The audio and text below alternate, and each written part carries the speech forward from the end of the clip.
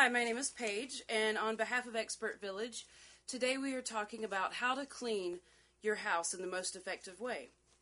Right now, we're going to discuss windows. So, by now, you've done your ceilings, you've cleaned your walls, and when you're doing your walls, don't forget to get your um, your light panels as well, because that's really important. And you've dusted. So now it's time to do the windows. Now, not only windows, but I clean every surface with glass.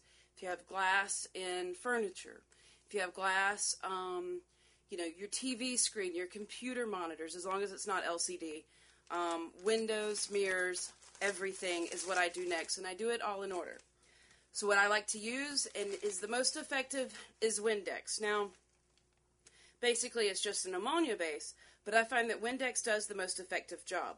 The also thing, the thing also that is extremely, extremely important when doing your windows and to do an effective job is to use newspaper.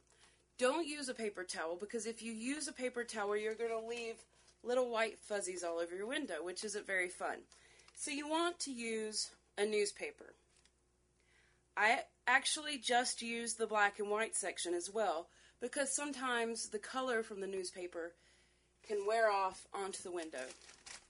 So I like to give it a good dousing, stand away, spray all of it that I'm going to clean.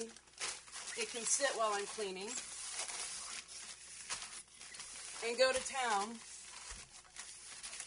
getting every area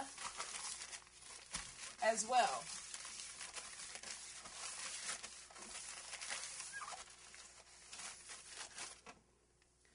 What's great about the Windex is they're now making it a multitask cleaner, so it's also a little bit light. Here I've got some dirt on my wood that I missed when I was cleaning my walls with my 409 and Lysol.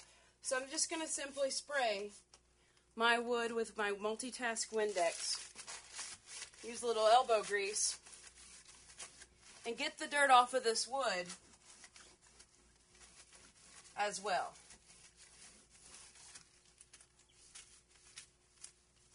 Now I have a clean, fresh, beautiful window to look out of.